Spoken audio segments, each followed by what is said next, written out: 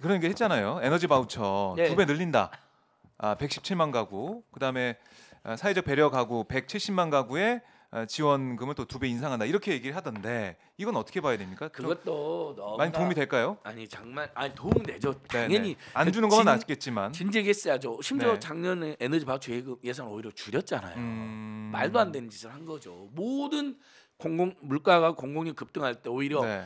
그나마 공공요금 바우처 예산을 늘려놨어야 될 거 아닙니까? 아. 그걸 줄인 짓도 한 겁니다. 그것도 잘 예측을 자, 못한 거다. 우선. 117만 명이라 그러면요. 네. 117만 가구에 도와준다는 거거든요. 그러면 지금 현재 우리나라 국민 기초생활 수급 수급권자들이 170만 가구입니다. 어, 다 포함되지 예. 가장 가장 이제 흔히들 말하는 가장 빈곤층을 기초생활 수급권자라고 하잖아요. 네, 네. 그러니까 이분들이 이제 물론 이분들이 시의 대상은 아닙니다. 음. 헌법이라든 세계인권선언문 그다음 관련 법률에 의해서 권리의 주체입니다. 네. 그래서 기초생활 보장을 여러 사정으로 청구할 권리가 있는 거예요. 그래서 기초생활 음.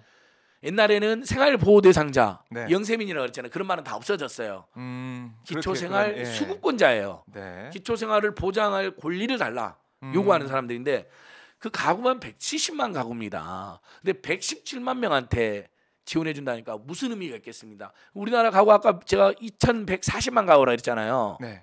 2,140만 가구 중에 117만 가구면 20분의 1입니다. 음. 20분의 1만 도와주겠다는 거예요. 네. 그것도 어, 에너지 바우처 15만 원이었던 것을 30만 30만 원으로. 원. 그럼 30만 원이면 얼마일까요? 30만 한번 원. 나눠 보시죠. 24개 12개월로 아니, 이게- 2만 5천 원이에요 한 달에. 근데 우선은 뭐 7개월 동절기 예. 된거 7개월로 생각하면 예.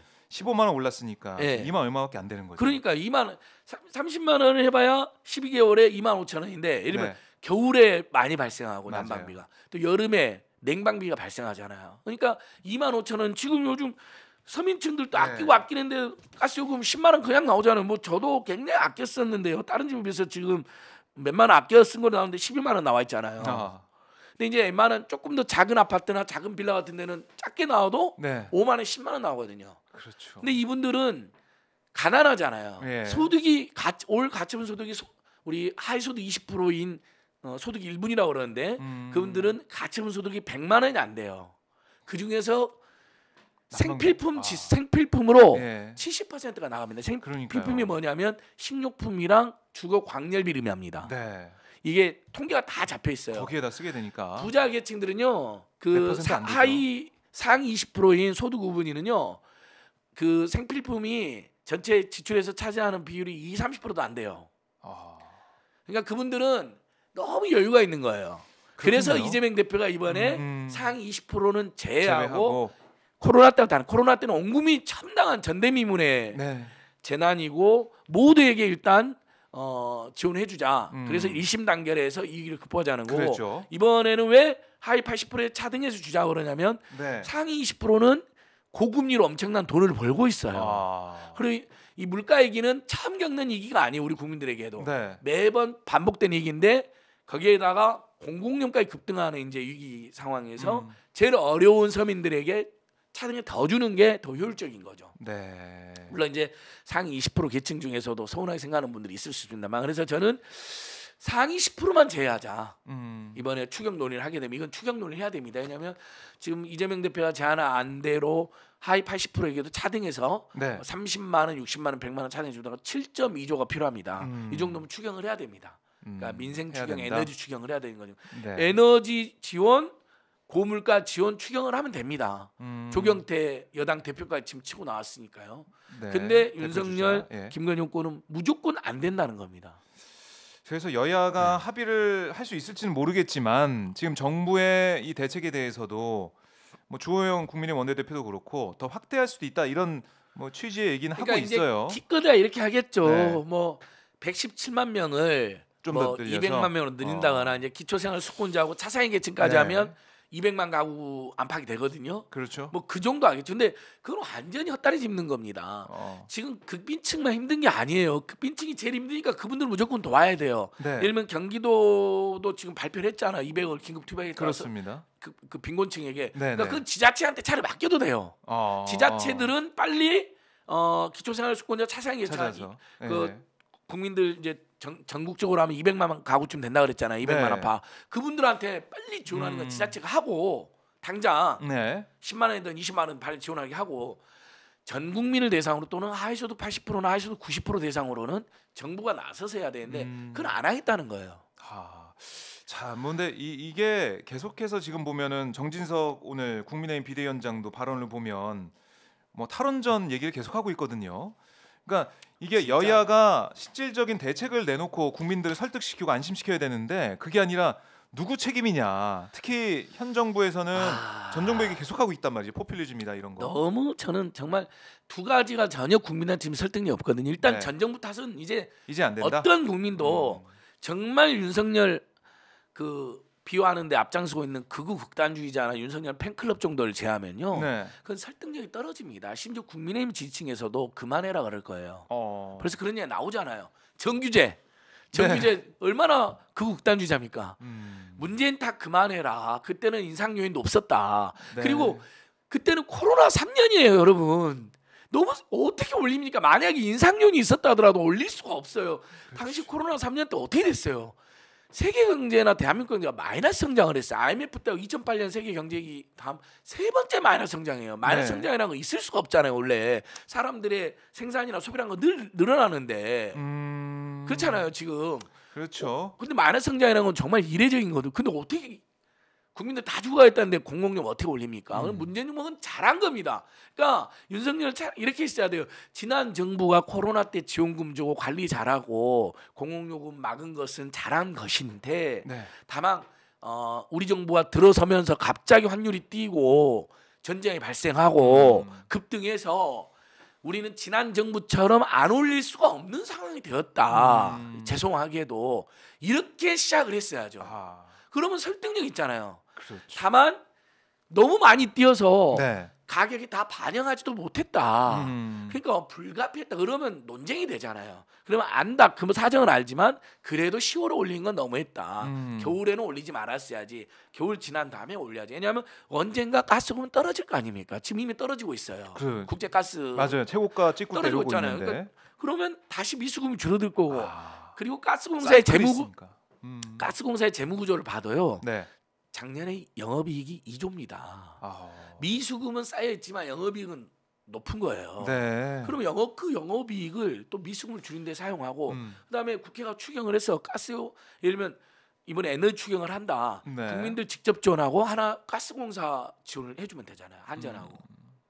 그러니까 여러 가지 그런 방법들이 있는데도 불구하고 네. 재벌 대기업 중심으로 부동산 부자를 중심으로 감세한 규모가 1년에 지금 12조쯤 된단 네. 말입니다.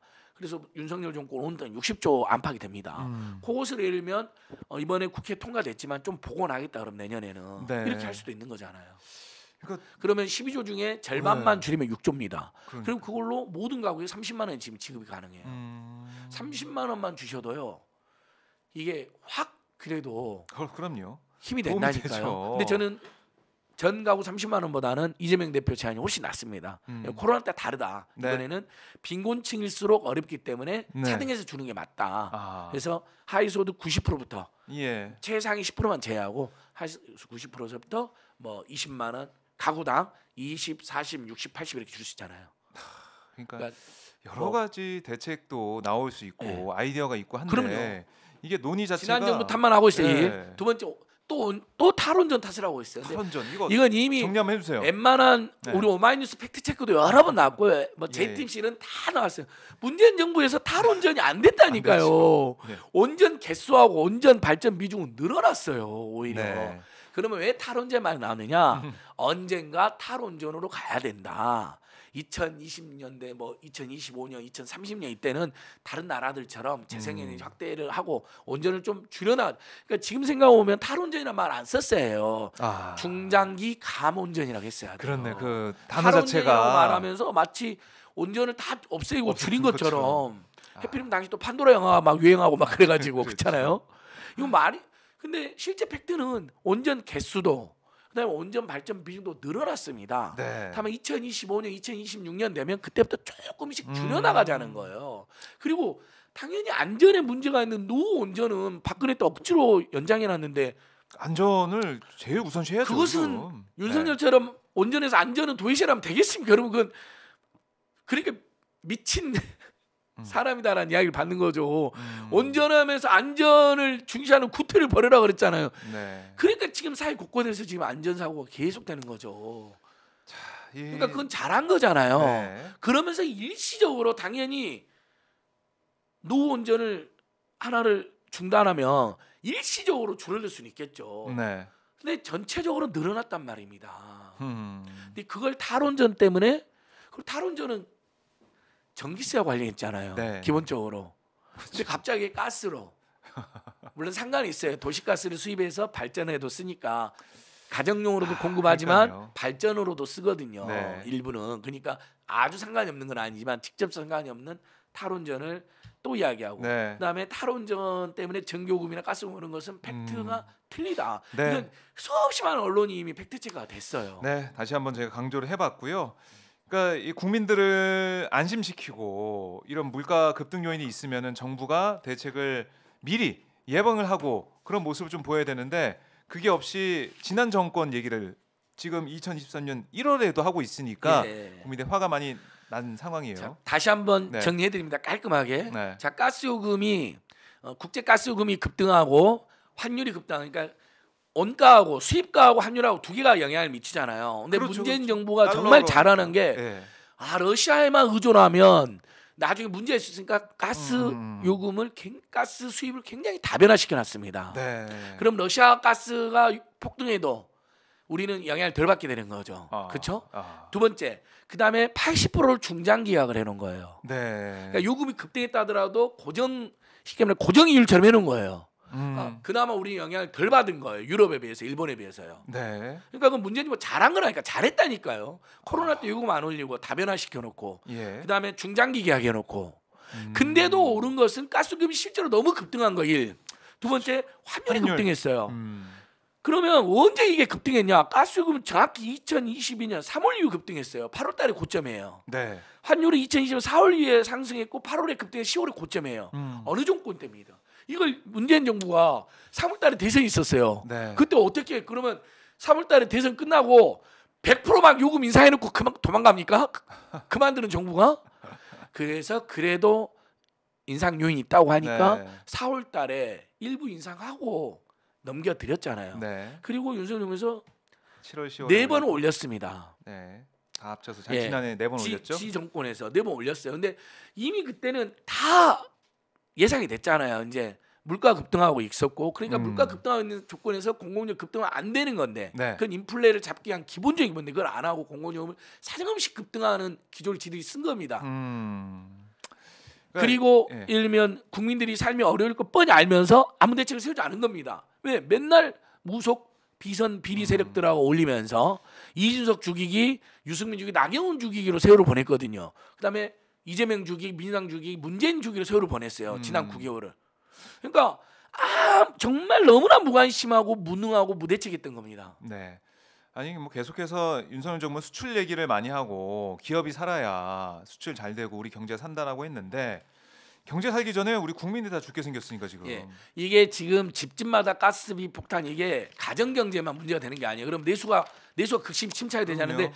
자 자영업. 소상공인들 네. 그다음에 가스나 전기를 사용해서 물건을 생산하는 음. 기업들도 지금 전부 다 그렇겠네요. 원가가 상승하는 요인이 발생하게 됩니다. 네, 그럼 네. 또 이게 물가 물가 를 또 자극하게 됩니다.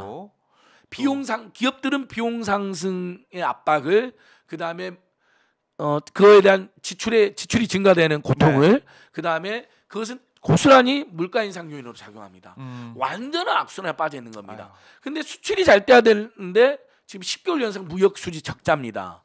중국, 러시아, 베트남 사회주권을 계속 자극해 갖고 윤석열도 자극하고 정용진이 같은 정말 황당한 멸콩 음. 기업인들도 자극해서 네. 지금 사회주의권하고 무역 수지가 악화되고 있습니다. 음. 그렇잖아요. 우리 50% 가까이 되는데 네. 사회주의권 나라들이 북한 간의 경제협력은 아예 지금 차단되어 있습니다. 네. 그리고 전쟁이 이- 이 윤석열 입만 열면 보복, 응징, 뭐 정쟁 이야기하니까 어느 나라 우리나라랑 바이어를 그 어?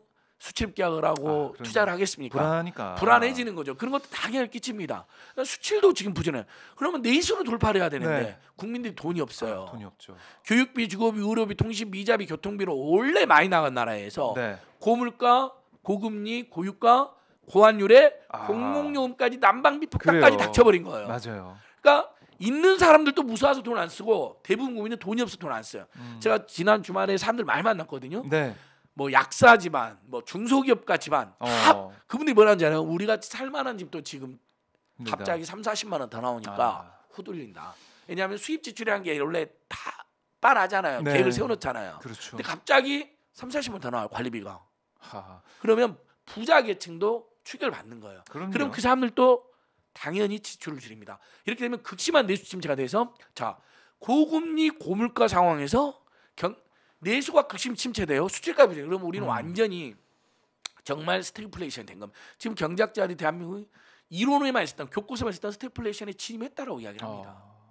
캬, 경기 침체인 상황에서 물가가 우리 인플레이션이 있는 네. 상황까지 됐기 때문에 예. 걱정이고 이런 민생도 망가지고 있는 어려지고 있는 상황에서 민생 파탄 책임져라는 목소리 지난 주말에도 네. 어, 많이 좀 울려 아, 퍼졌어요. 정말 추웠고 네. 그 다음에 이 엄청난 이 물가 폭탄에 음. 사실 사람들이 요즘 집 밖에는 안 나오고 안 나오려 그래요. 네. 요즘 직장인들 도시락 싸고 다니는 거 아세요? 다시? 아. 그리고 편의점 편의점 도시락 많이 먹어요. 불- 편의점 가 보시면요 네. 삼각김밥이랑 도시락이 없어요. 좀 늦게 가면 없고. 네, 늦게 가면 없어요. 예, 예, 예. 제가 좋아하는 3,900원짜리 도시락이 없더라고요. 다 그걸 드신대. 제가 맞아요. 기업인들 저는 많이 만나요. 특히 중소기업들 이제 직장 내 복지 같은 거 물어보면 뭐 라면 같은 건 이제 하면 그렇게 그 라면가 비춰놨잖아요 아, 간식이나 예, 예, 예. 그게 빨리 없어져. 지출이 배로 늘어났대요. 그리고 라면 하나로는 때우기가 네. 탐당 하나 먹으면 아, 출출하잖아요. 그렇죠. 그러니까 편의점 도시락 삼각김밥을 두 개 정도 사고 와서 같이 음. 먹는데요.